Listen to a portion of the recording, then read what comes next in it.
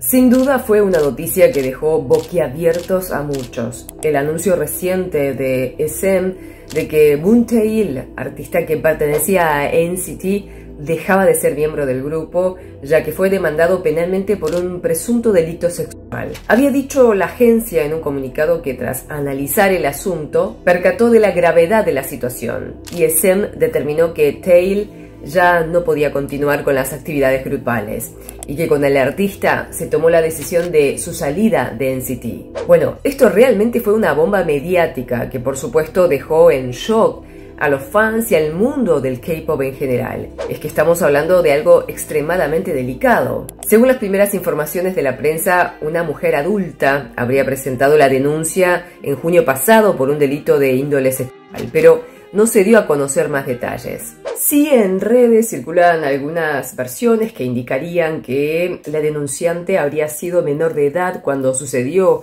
este hecho, pero esta información aún no fue confirmada por la policía. El impacto siguió en muchos aspectos. Las agendas de varios integrantes de NCT fueron postergadas, las acciones de SM están en tendencia en baja y las redes sociales de Tail también registran caídas en sus seguidores, entre ellos están quienes habían sido compañeros de grupo y de la empresa. La prensa informa que hay quienes cuestionan a SM de cómo es que si la denuncia se presentó en junio pasado, el artista continuó sus actividades grupales, inclusive a principios de agosto cuando formó parte de un fan meeting de NCT Ilichil. Entonces SM volvió a hablar y aclaró que recién ellos se enteraron de la cuestión en agosto y confirmó que el 28 de agosto Tail recibió la primera investigación policial de modo oficial. Woon Tail tiene 30 años y había debutado en 2016 y estaba activo en NCT U y NCT Ilichil o 127. Esta noticia ha sido reflejada en medios internacionales como Deutsche Welle y Billboard. La prensa coreana destaca la rapidez con la que esta vez